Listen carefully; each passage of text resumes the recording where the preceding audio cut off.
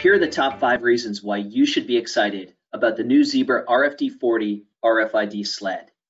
Number one, the already popular TC21 or TC26 is one of the touch computers that snaps directly into the RFID sled. Number two, taking a barcode data capture device and enabling it with RFID without having to buy an entirely new mobile computer provides extraordinary value. And the two units connect using a serial connection, so no more Bluetooth pairing to have to worry about, as well as no additional buttons required.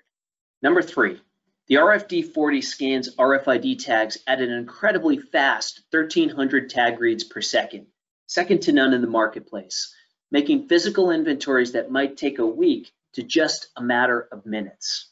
Number four, the trigger is a very creative dual trigger unit with the index finger for barcode and the middle finger for RFID.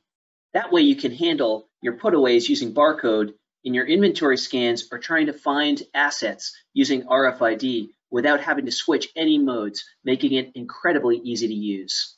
And lastly, number five, the A2B RFID Tracker app has been certified for use on the TC21 or TC26 and RFID 40 unit, enabling powerful functions like using barcode or RFID to perform inventories, to use barcode or RFID for put away and assignments, and to use RFID to pro-locate to find that needle in the haystack for the item that you might be looking for that no one's been able to find.